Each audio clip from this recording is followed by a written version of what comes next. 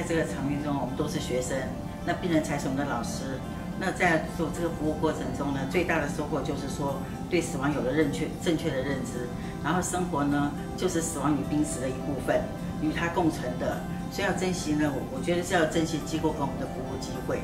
那然后就是要珍那个把握当下，时间是不等人的，所以说在我这个服务的过程中，深思到就是说将每一天当做是最后的一天。那我觉得说，在这学习经验上，就是也是说病人跟家属给我的机会，最少什么？要临终关怀。然后说我们要懂得是说要要把引导家属把爱说出来，道谢、道爱、道见、道别。那当中最印象比较深刻的是说，因为我们一般有个观念都认为说男儿有泪不轻弹，同时呢是什么说我们会说爱在心里口难开。那所以有一次当我就是帮那个家属的忙的时候，什么？因为病人已经在弥留状态。那当时那个场域当中，除了病人之外，有妈妈，还有他的那个病人的姐姐，以及一个先病人的先生在。那我想说，哎，男儿有泪不轻弹。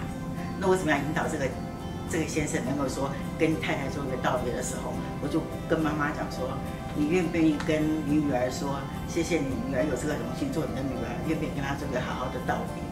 那然后就是引导了妈妈，还有姐姐，就跟他说道道别，就说把爱说出来之后，也跟他就做了个道别，有谢谢他做她的女儿的时候，之后的先生就是说，我在想说，看先生要做什么动作，结果先生一下子跪下去，就跟太太说，某某某，你的这个仗已经打完了，剩下的仗我继续帮你打。就那个当下，当我一听到以后，我就觉得说。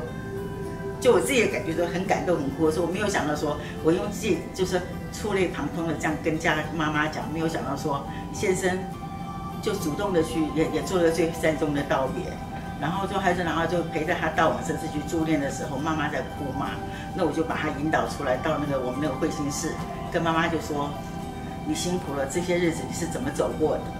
然后妈妈就把说这个她的女儿从生病到一直到这个往生的过程中，一直告诉我。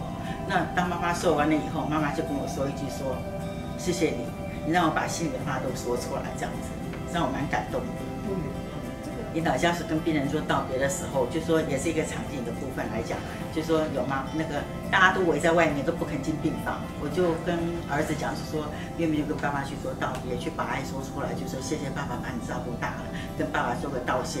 结果儿子去说完了之后，那然后就才会来说志工小姐。你可不可以引导说，我妈妈跟爸爸说一下？我说好，我就跟妈妈讲说，我说伯母，你知道吗？你的先生状况可能不是很好，你心里要有准备哦。他就说我知道，然后他就说，那你有没有跟你先生去做个道别呢？然后先生就说，妈妈就说好，然后就说那你陪我去。我说好，陪你去。当我到了里面以后，他就说一句，小姐你说。还有就说这个我不能说，是要你说，不是我说，因为这是你的先生，你要跟他做道别。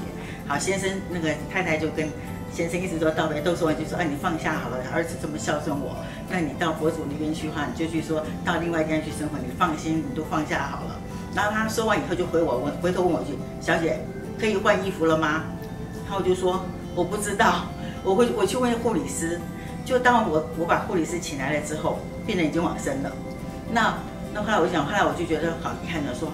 啊，我怎么可以把病人给说死了？就是回家呢，就把这个过程告诉我妈妈。我妈就马说缺德哦，你怎么可以把病人给说死掉了？然后我那个晚上就就没有办法睡觉，刚好那时候在念研究所。后来第二天刚好去学校跟我的老师，我说老师，我昨天做了一件不应该做的事情。我们老师有什么事？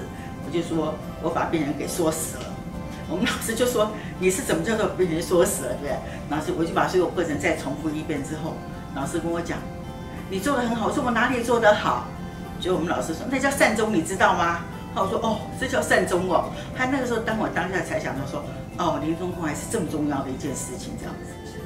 那我觉得这个方面来讲哈，我觉得如果我们一个是职工，对不对？就当然，既然你有动机进到安宁病房的话，其实我觉得你一定有，就是说在服务过程中的话，你要莫忘初衷，然后不宜自我膨胀，而且妄自菲薄。